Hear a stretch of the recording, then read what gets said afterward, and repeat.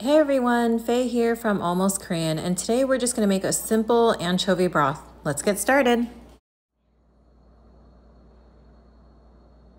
So today we're just making a simple anchovy stock, and it's very simple. You just need three ingredients. We have kelp, also known as dashima, and this kelp comes in small pieces, but you can also get it in really large sheets. So for this, I'm just using about four or five of these small pieces.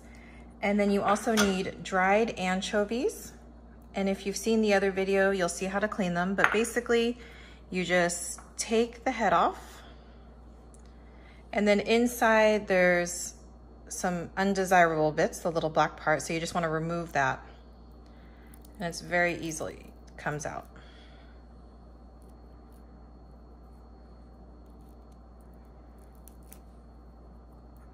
And so for this, I have about eight anchovies and just about three cups of water. So we'll turn our heat on.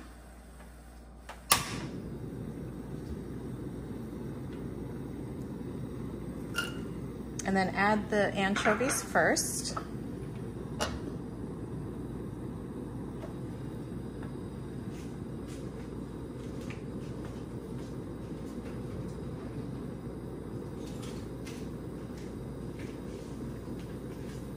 This does a little bit of a dry roast on them.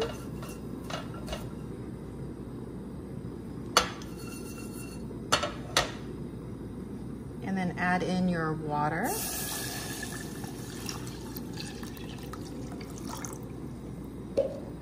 And the kelp.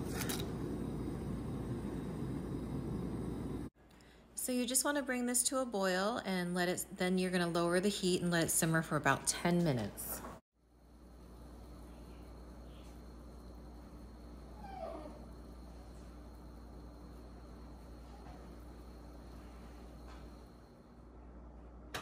Our broth has been simmering for about 10 minutes, just on a low heat. And you want to use a fine strainer to drain it out.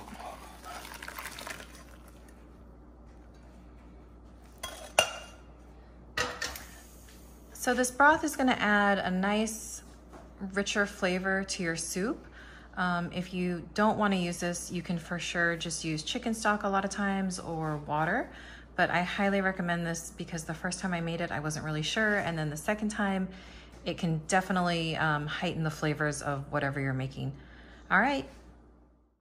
Thanks for watching my video. Have a great day, guys. Bye.